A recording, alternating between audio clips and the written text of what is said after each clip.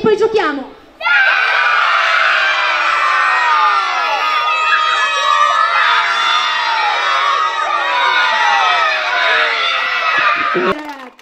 Oggi taglio del nastro al campo di Via Merlo, rimesso a posto, rifatto il manto erboso, quindi un bel traguardo per il comune.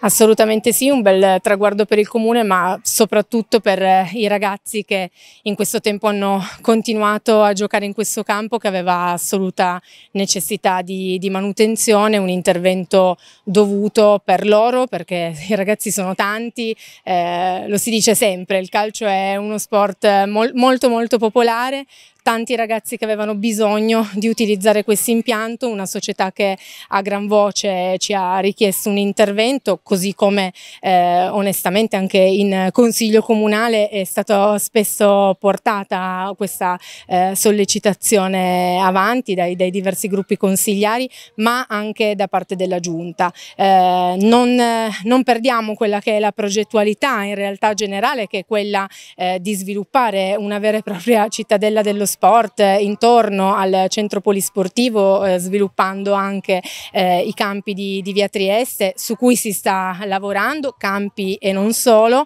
eh, in modo proprio tale da creare un polo sportivo ben coeso che permetterà anche alle associazioni di lavorare in grande sinergia. Oggi però i ragazzi avevano bisogno di questo spazio e la giunta in modo ehm, coeso ha detto, mh, mm, ha ritenuto questo investimento indispensabile ecco, e quindi eccoci qui oggi a festeggiare per i ragazzi in occasione proprio delle, delle finali del trofeo Bausano eh, in cui vediamo i ragazzi esprimersi e soprattutto tanti ragazzi della, della nostra Rivarolese.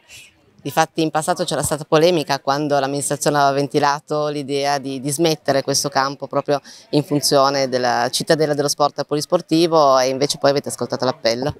Assolutamente sì, anche perché ehm, quelle che sono le progettualità poi ehm, anche di piano regolatore sono delle progettualità a lungo termine che quindi non vedono una realizzazione eh, a stretto giro per cui investire in questo campo ha ancora senso e ha senso proprio per perché come vi dicevo prima, eh, numerosi ragazzi hanno ancora bisogno di calcare questa, eh, questa terra, che non è sintetica, però hanno ancora bisogno di giocare qui e quindi è giusto intervenire qui, è giusto ascoltare l'appello eh, che comunque dalla cittadinanza è arrivato, quindi ha, ha significato che eh, era davvero indispensabile.